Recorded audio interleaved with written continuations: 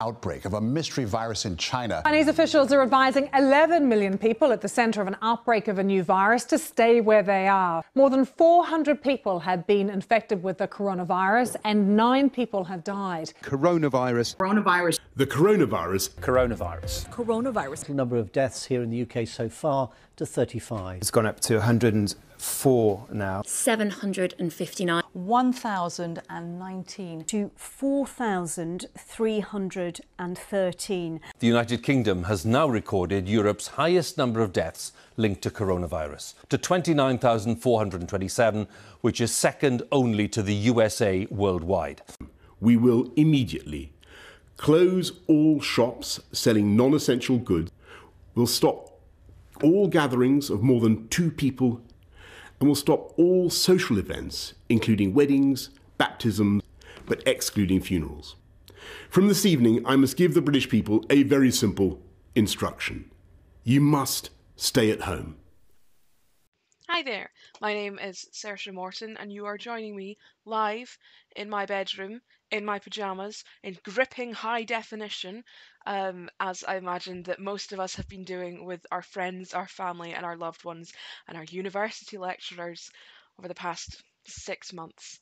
Um, I'm here to tell you a little bit about the RTS bursary scheme and my course, journalism, at Edinburgh Napier University. Now, obviously, there's a couple of things that I can't exactly show you just because we're stuck indoors and a lot of what's going on is online, but I am going to do my best. So, come along, let's have a bit of fun then. Given different circumstances, I would be showing you my university campus, but since coronavirus has got us all stuck at home, I thought I'd show you a little bit of what I do in my flat, working from home, learning from home. The circumstances are excellent, it gives me the chance to work from places like this.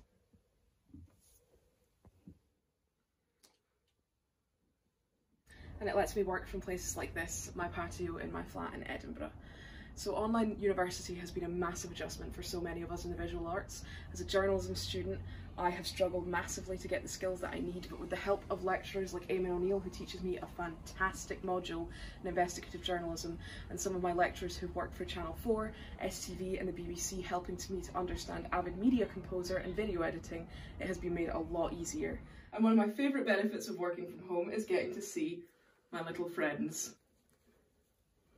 Another wonderful part of being able to work and learn from home is getting to spend more time with my flatmates. Go away! Okay. In all seriousness though, to those of us in the arts and those of us who are students, coronavirus has been detrimental. It can feel like nothing is happening and we're going nowhere, but through it all the RTS bursary has been massive to me. The Royal Television Society has an excellent network of professionals, students like myself, not just journalism students, but TV students, computing students, a wide variety of people who work in the visual and creative arts, and all of them are there to support you. Not just monetarily, though I know that that is a huge factor. As someone from a low income background, it's been so important to me.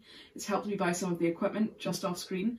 Um, but also, it helps me keep my podcast going with my friends. It helps me invest in camera equipment, but it helps me find work when I can't go outside.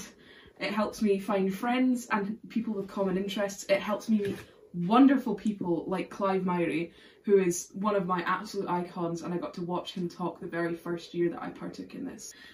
I would highly recommend looking into being a part of the RTS, being a part of the RTS bursary student scheme.